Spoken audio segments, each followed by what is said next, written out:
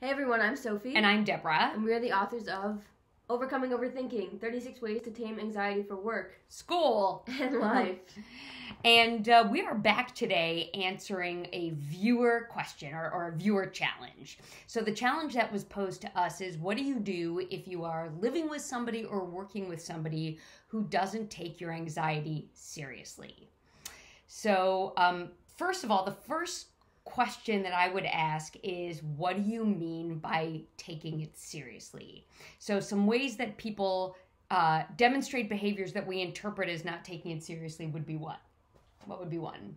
Making fun of it. Making fun of it.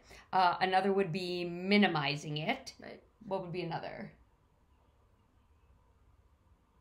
I don't want to talk about it right now. Yeah. Get over it.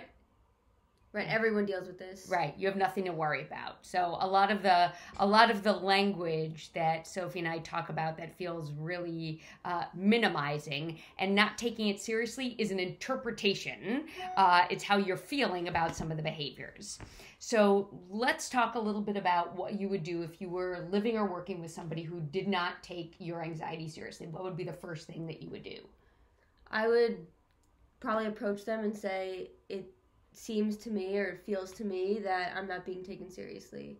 Tell me what that's what your opinion of that is. Yeah. And what I might add to that is to identify the specific behavior you're noticing, the specific thing that they're doing or saying that you interpret as not taking seriously. So for example, if I say to Sophie, I don't think you're taking me seriously, she may have no idea what I'm talking about or say that's not true. But if I say, you know, Sophie, when you say to me, it's not a big deal when I share something that's concerning to me, um, I feel minimized right. or I feel not heard or listened to. Mm-hmm. And if if that conversation doesn't go as expected, there are also lots of resources to show that anxiety and depression and mental health is a is a serious challenge. Um, just like talking about statistics, mm-hmm. you know, mm-hmm. one in five people have a mental illness, and fifty percent of people will have a mental illness at some point in their lifetime. Yep, and I'm in that fifty percent. So, um, one of the things to do if you are living or working with somebody who doesn't take it seriously or demonstrates a series of behaviors that you interpret as not taking it seriously is to get really clear about the behavior that you are hearing or seeing rather than just sharing an interpretation where the other person may not see it.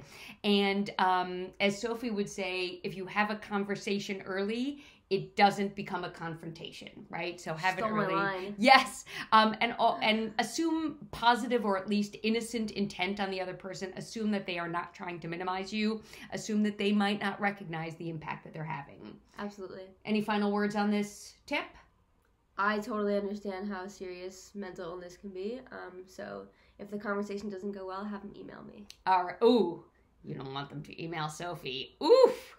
All right, everyone. Keep your questions coming. We'll be back again soon. Take care. Bye.